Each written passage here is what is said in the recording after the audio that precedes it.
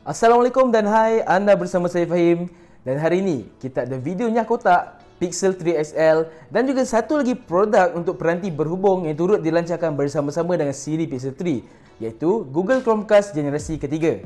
Tapi Google Chromecast ni tak penting, yang penting adalah Google Pixel 3 XL ini. So, tanpa buang masa lagi, mari kita mulakan yang kotak. Kotak Pixel 3 XL ini adalah serupa dengan Pixel 2 sebelum ini.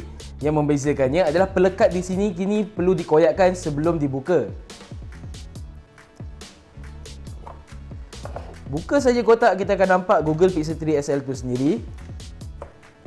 Okey, sebelum kita teruskan, mari kita lihat apa yang ada dalam kotak ni. Yang pertama adalah buku manual. Dan oh, kali ni ada pelekat Google. Hashtag Team Pixel. Dah macam Apple, sediakan pelekat. Kemudian kita ada simpin, manual. Kemudian ini adalah perkara yang paling menarik Kerana Google kali ini menyertakan Iaitu satu set phone telinga asas yang menggunakan port USB-C Yang turut mempunyai fungsi pintar seperti penterjemahan Google Translate. Di dalam kotak, kita ada pengecas USB PD Dengan kuasa 18 watt Wow, Google kekalkan lagi penyesuai USB-C kepada bicu audio, adapter untuk buat sandaran dan pemilihan data dan juga kabel C to C untuk pengecasan pantas. Selesainya aku tak, mari kita tengok Pixel 3 XL itu sendiri. Google Pixel 3 XL masih lagi dijana dengan Snapdragon 845 dan masih lagi menggunakan memori 4GB RAM. Dan paling menarik, Google masih menggunakan satu lensa di belakang Cuma membezakan kamera Google Pixel 3 kali ini adalah dua lensa di hadapan iaitu 8 megapiksel dan 8 megapiksel. Salah satu lensa kamera swafoto ini adalah lensa ultra lebar. Mari kita lihat rekaan keseluruhan. Google menggunakan panel belakang kaca dan binaan yang kelihatan lebih premium berbanding dengan Pixel 2. Kaca belakang ini hanya satu panel. Google menggunakan satu teknik untuk menampakkan dua tona berbeza seperti Pixel 2 sebelumnya. Di atas ni adalah kaca light seperti OnePlus 6 Mirror Black manakala di bawahnya adalah satu kaca dengan kemasan pusam seperti OnePlus 6 Midnight Black. Kemudian logo G Google masih lagi berada di bawah dan pengimbas siap jari juga masih berada di atas. Kamera satu lensa, lampu LED flash dan juga satu laser autofocus. Di sisi kanan terdapat dua butang iaitu butang kuasa dan juga butang arah suara. Jika anda fokus, warna butang kuasanya ada sedikit berbeza dengan warna panel belakangnya. Kemudian di sisi kiri tiada apa-apa. Di sisi atas hanya ada satu mikrofon dan di sisi bawah terdapat port USB-C itu sendiri dan juga port SIM card. Untuk skrin pula, Google menggunakan skrin 6.3 inci AMOLED daripada Samsung. Terdapat pembesar suara di bahagian atas dan bawah, pembesar suara stereo dan juga setakat ini menggunakan rekaan trend terkini iaitu takuk. Dan untuk Google Pixel 3 XL, ia mempunyai takuk paling besar dalam sejarah peranti Android setakat ini. Google Pixel 3 XL masih dijana dengan set Snapdragon 845 menggunakan grafik Adreno 630 Memori 4GB RAM dan pilihan storan 64GB ataupun 128GB.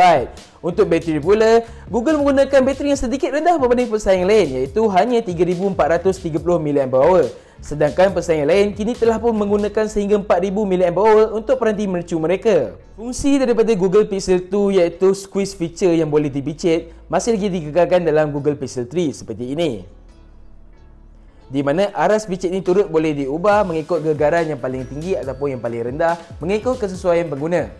Kemudian untuk perlindungan pula, di bahagian skrin hadapan Google menggunakan Corning Gorilla Glass 5 sebagai perlindungan skrin dan untuk perlindungan daripada air dan debu, Google kini menggunakan IP68 tidak seperti sebelum ini, hanya IP67. Seperti yang saya cakap tadi, panel belakang Google Pixel 3 kini menggunakan panel kaca. Kenapa menggunakan panel kaca? Kerana Google Pixel kali ini menyokong pengecasan nirwaya iaitu pengecasan nirwaya pantas sehingga 10 watt. Kamera Google Pixel 2 boleh dikatakan adalah antara kamera yang terhebat. Lebih-lebih lagi mod portrait mereka. Walaupun markah DxO Mark-nya tidak setinggi seperti Huawei P20 Pro, tetapi ia masih mempunyai hasil yang memberangsangkan. Jika anda lihat, Pixel 3 menggunakan Google Camera 6.1 menggunakan antara muka yang sedikit baru dan mempunyai banyak ciri tambahan. Tanpa membuang masa lagi, mari kita buat sedikit ujian kamera. Antara fungsi menarik dengan Google Pixel 3 ini adalah kameranya mampu membuat rakaman zoom dengan hanya menggunakan kecerdasan buatan. Ini adalah contoh kamera zoom. Hasil gambarnya tidak pecah dan kurang noise kerana Google akan menggunakan kecerdasan buatan untuk memenuhikan ruang-ruang noise dan menjelaskan lagi hasil gambar. Untuk kamera swafoto pula seperti yang saya terangkan tadi, ia menggunakan kamera dua lensa 8 megapiksel, satu lebar biasa dan lagi satu adalah ultra lebar. Masih lagi menyokong portrait mode depan dan belakang Tetapi ia bukan sahaja terhad kepada manusia seperti iPhone XR, ia turut boleh mengambil objek lain. Lain-lain fungsi kamera Google Pixel 3 ini adalah seperti night sight yang masih belum ada lagi dalam Pixel 3 ini secara terbina dan stabil kerana Google masih mengujinya. Menurut sumber, Google akan mula mengemas kini fungsi Google Camera dengan night sight bermula seawal November kelak. Sebelum kita akhirkan video mengenai Pixel 3 XL ini, mari kita uji audionya. Kerana Google Pixel seperti yang saya cakap tadi menggunakan stereo speaker.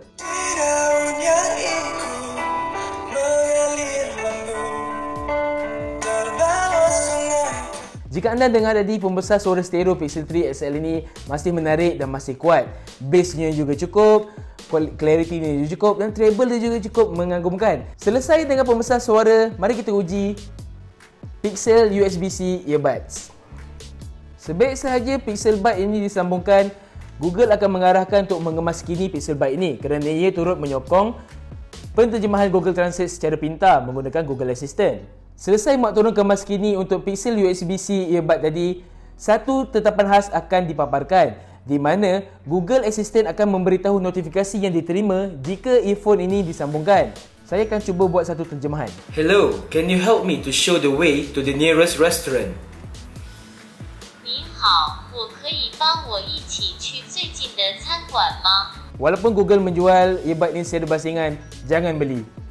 Kualitinya sangat teruk, tiada bass walaupun tetapan arah suara masih berada di 50% bunyi kualiti audio di Spotify telah pun pecah sangat tidak enak didengar mungkin betul Google hanya sediakan ini untuk kegunaan untuk memudahkan pengguna seperti membuat penterjemahan secara pantas untuk pengetahuan semua Google Pixel 3 XL ini mempunyai satu isu yang agak serius kerana panel belakangnya mudah calar Ujian pantas kami, dengan hanya menggunakan kunci kereta, panel belakang ini boleh diconteng begitu saja. Tetapi jika calak ini berlaku, menurut beberapa pengulas di luar sana dan beberapa ujian yang telah kami lakukan, calak ini boleh dipadam menggunakan jari dengan begitu mudah dan tiada langsung kesan yang akan kekal. Cara lain, anda mungkin boleh cari kerangka untuk melindungi peranti Pixel 3 XL ini. Okey, selesai Pixel 3 XL tadi, mari kita lihat Google Chromecast generasi ketiga. Di dalam kotak, terdapat Chromecast itu sendiri. Sebelum kita tengok Chromecast ni bagaimana, mari kita lihat apa yang ada dalam kotak. Kita ada kabel micro USB dengan bahan binaan yang sedikit biasa seperti kabel biasa saja. Kita ada pengecas. Disebabkan ini adalah set USA, jadi pengecasnya adalah dua pin lepes seperti ini. Kemudian kita ada buku manual panduan dengan juga buku keselamatan. Membezakan Google Chromecast generasi ketiga dan generasi kedua adalah bahan binaan dan juga sedikit spesifikasi di dalamnya. Chromecast generasi ketiga ini kini menyokong penstreaman 1080p pada FPS yang lebih tinggi daripada sebelum ini. Kemudian, latency Wi-Fi-nya adalah lebih baik. Ini bermakna, kandungan penstreaman daripada peranti ke Chromecast iaitu televisyen anda ataupun monitor yang mempunyai pembesar suara adalah lebih baik daripada sebelum ini. Menjadikan Chromecast generasi ketiga ini lebih menarik adalah ia mempunyai Google Assistant secara terbina. Walaupun ia mempunyai Google Assistant secara terbina, ia tidak mempunyai mikrofon.